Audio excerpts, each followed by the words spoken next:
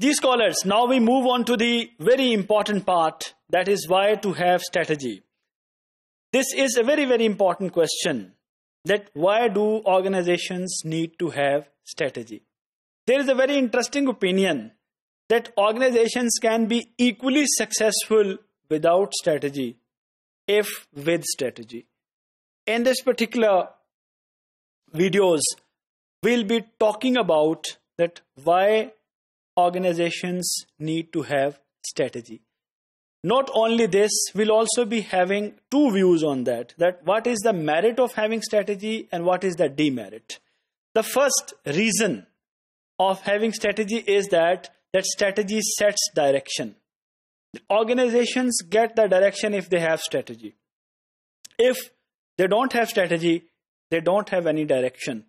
And if they if you you you can really understand this phenomena that if you don't have a direction, for example, early in the morning, if you get up and you don't have any direction, you don't have anything in your mind at where to go, no doubt if you just come out of the home, you will reach somewhere, but you never know your ending will be pleasant or unpleasant. So, the first benefit of having strategy is this that you get a direction. And what is the benefit of having direction that the main role of strategy is to chart the course of an organization in order for it to sail cohesively through its environment. And the first advantage is if you have an have a direction, you can well deal with your environment which is ever changing. And when you can well deal with your ever changing environment, you can certainly safely reach to your destination.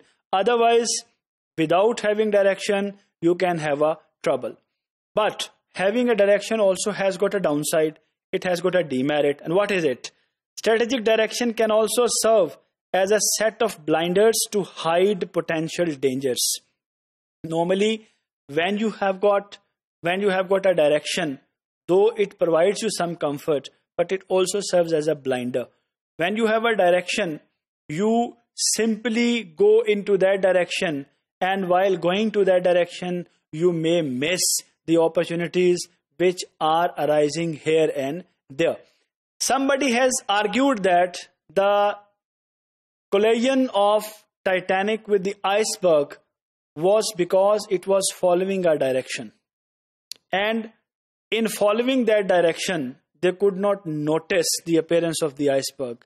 And this strict following of the direction ultimately resulted into the disaster and the damage, the rather the great accident of Titanic. Now we move on to the second reason. Strategy focuses efforts. It is argued that if the organizations have got strategies, they can have the focused and coordinated efforts. But if they don't have strategy, their efforts will be unfocused. And you all know that, and it is also shown in the history history of the successful organizations or the successful persons that they all had a focus and their focus provided them the optimum utilization of their resources and ultimately they achieved the success they aimed at so having the focused efforts there is a merit and there is also a demerit what is the merit the strategy promotes coordination of activity without strategy to focus efforts chaos can ensue as people pull in a variety of different directions. When you don't have the focus, people can move into the different directions and resultantly the organization fails to achieve its objectives. But there is also a demerit to it. Groupthink arises when effort is too carefully focused. Rather, there is no individual thinking. Everybody is thinking in the one direction focused on one thing. There may be no peripheral vision to open other possibilities. As I mentioned, a given strategy can become too heavily embedded in the fabric of the organization.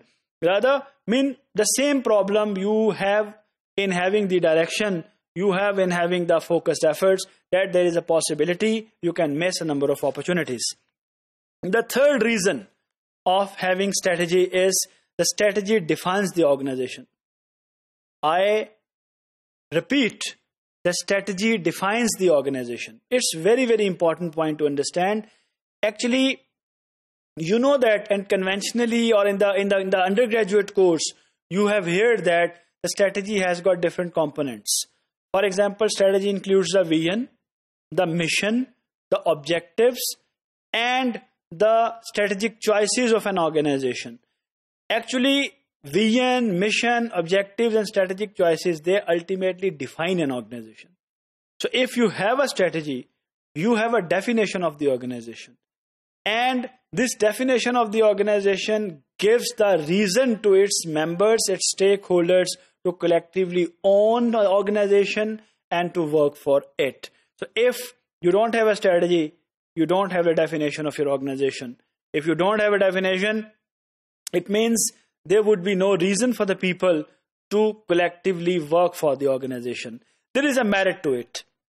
Strategy provides people with a shorthand way to understand their organization and to distinguish it from others. So, through strategy, you can understand your organization and you can also distinguish it from others. Strategy provides meaning plus a convenient way to comprehend what the organization does. So if you don't have strategy, there would be no common understanding. But this thing also has got a demerit. To define an organization too sharply may also mean define it too simply. When you sharply define the organization, you define it simply. Actually, organizations are not simple. Sometimes to the point of stereotyping so that the rich complexity of the system is lost. Remember, dear scholars, that organizations may be defined simply but actually, these are not simple. These are the complex creatures. And when you miss the, this complexity aspect, you may miss to manage the organization in the proper way. Now, the fourth and the last reason why do organizations have strategy? Strategy provides consistency. Actually, for being consistent, you need to have a focus and direction and a definition. In earlier three points provided that strategy provides direction, focus, and it also provides very important thing and that is definition. If these three things are available, then strategy provides the consistency. And consistency is also important for the success of the organization. There's a merit to it. Strategy is needed to reduce ambiguity. It reduces the ambiguity and provide order. When you have strategy, there is an order, there is no ambiguity. In this sense, a strategy is like a theory, a cognitive structure to simplify and explain the world and thereby facilitate action. So remember that strategy is the theory of the organization, which provides the understanding to it, it reduces the ambiguity. But this is there is also a demerit attached to it that when you are too much consistent in pursuit of something you miss very important thing and that is the creativity. Because creativity thrives on inconsistency. By finding new combinations of hitherto separate phenomena. If you are consistent again you cannot be creative to that level and you may miss many opportunities. Thank you very much